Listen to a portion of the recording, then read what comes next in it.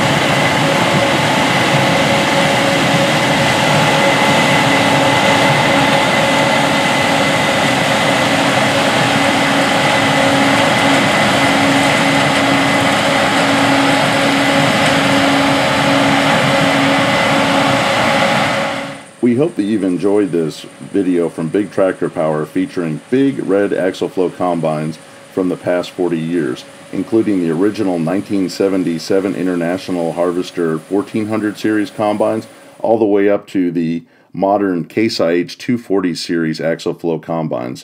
The majority of the footage shown in this video was filmed in western Kentucky and features the Class 9 and Class 8 Axial-Flow 240 series combines from Case IH.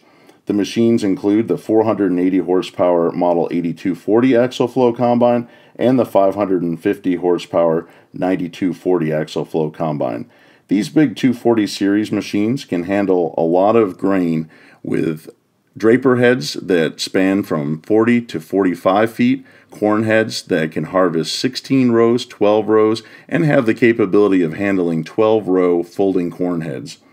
If you'd like to see more videos of big combines and other farm machinery like this, visit BigTractorPower.com to link directly to our YouTube channel with over 1,000 videos of farm machines at work. You can also follow us on Instagram, Twitter, and Facebook for pictures and farm equipment history on a daily basis. Thank you for watching.